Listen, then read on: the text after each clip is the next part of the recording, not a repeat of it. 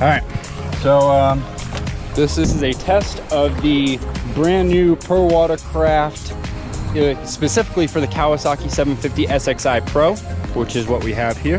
This is a set of their hull extensions. Um, the hull extensions are marketed to eliminate um, effective porpoising, which is a known fact on these SXIs. Honestly, that's my big complaint on this SXI. Um, I've put a lot of work into it, and the damn, damn thing just porpoises. Um, it prevents you from getting top speed, so I'm really hoping that that's fixed today. Um, as you can see, there's there's nobody here. So I'm just gonna leave the truck here. Um, the exhaust is out of the water and everything, and it's really just a little bit in. So um, we're just gonna send that and see what how we uh, how we work make out. Uh, I did put these hull extensions on last night. It hasn't been a full 24 hours for the silicone to dry, but it's been 20. So we're gonna call that good. Um, and I don't know how much GoPro battery, I mean, I got like 20% GoPro battery and not much on the, the chip left, but uh, today's a full send. Really just want, I'm anxious and I'm running out of, out of warm days. Right now the temperature, it's like 65 degrees right now. So uh, yeah, it's gonna be a little chilly. Hopefully we don't fall. That's the plan at least. But I wanna try this out. And I got nobody here to watch, so I gotta be careful as well. But if you can see, there's the hull extensions. And I also have their ride plate on. I put the ride plate on last year and the ride plate helped out a lot. But um, these hull extensions, I'm really hoping do the trick. Now, I probably would have been out here a half hour or so before than I am right now. We're really coming on dusk. So this is really getting a little, a little ballsy. But um, this thing had a ground issue for whatever the reason. It did not want to start or started once and because it was cold it needed a, second start and then um, yeah the uh, the damn thing just wanted to have a ground issue so we had to pull it pull it apart and we but we figured it out so we're all good now. So let's give it a go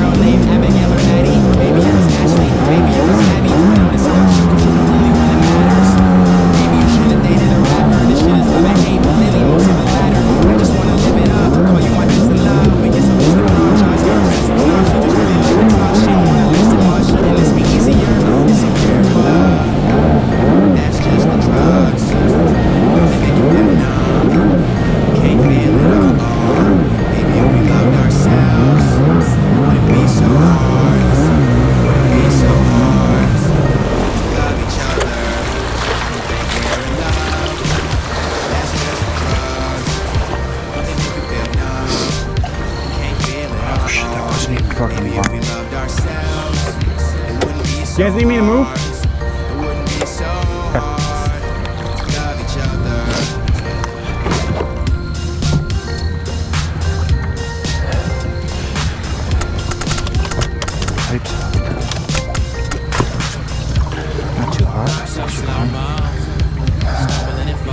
water intrusion. I don't know why it's bargained a little bit on the low end, but seems to be running all right. It still scares me when we fall.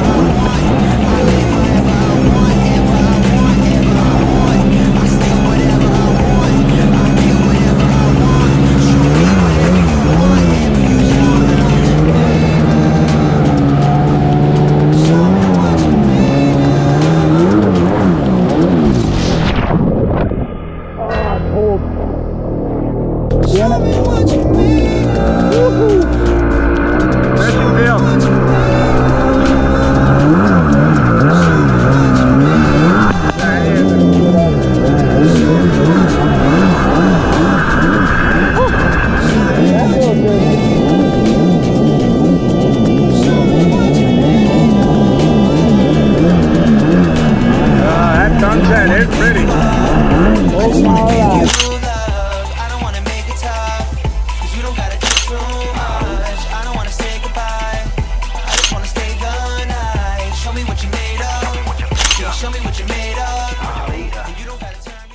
All right, so that was a pretty much um, that was a success. Um, you know, was able to get out here for a little bit. There was that problem that I had upon leaving the house. Um, you always do a test start on the jet ski before you leave the house, just because you never know. And it started up, but because it was cold, I needed another start. And when I went to go give it that other start, um, they, I was having essentially, long story short, issues with the ground. So um, we sanded off the ground, reattached it, um, and it worked fine. So ended up scooting out here to the lake real quick. Um, as you can see, it's it's pretty much dark, and it's uh, October 16th. So um, pretty late in the year. It- it's right now my watch is at 63 degrees outside. Um, I don't know what the water temp is. Thank God for the wetsuit. Um, that's the only way I would have been able to make it out here.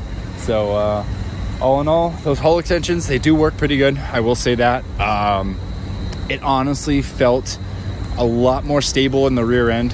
Felt almost like this, the rear end was on rails to a certain point. Um, you could lean over a lot farther for days. Um, when it comes to doing water wheelies, I mean, my I was literally like on my tippy toes on the way back, on all the way back on the board, um, and pulling back as hard as I could, and I could barely get that thing 12 o'clock, which kind of stinks because I really was a wheelie jet ski boy. I love doing that stuff, um, but it's it's all in the technique now. So. Um, as for the actual porpoising, uh, I'm happy. I'm happy and unhappy. Um, I will say that the porpoising has subsided for a little bit, uh, but it's still there. Uh, I'm still chasing top speed on the jet ski. Um, I've been told, been told reportedly that an SXI Pro, when set up correctly, can hit mid 40s, upper 40s. Um, I would love to obtain that speed mainly because all my buddies with the Super Jets, that's how fast they're going. So I would love to get that kind of speed out of it. But at the end of the day, it's a 1998. So it's competing a hell of a lot better than it was prior to me getting it. So um, we're going to call that a win. Um, right now, I think it previously it was porpoising at about 25 miles an hour. Now it's porpoising at about 35 miles an hour. So it's better, like I said, but there's room for improvement. So we'll keep chasing it. Um, I have heard from a couple of my friends that changing the intake grate, and I know that the intake grate will definitely tra- uh, change things, but I heard changing it to a top loader would potentially alleviate some of those issues on the top end. Um, it's definitely a hell of a lot better. I will say, putting the new reeds in, the V-Force reeds in there, uh, doing the hull extensions, like the stuff that I have done this year, even something as simple as um, the saltwater plugs that I, those uh, MSD spark plug boots, the saltwater kit that I put on there recently over the weekend with the hull extensions, even that, like you, it feels, the electricity feels a lot more crisp. I'm gonna hawk that all up as a win. Um, you boys very happy, but there's still room for improvement. So we're going to sign off.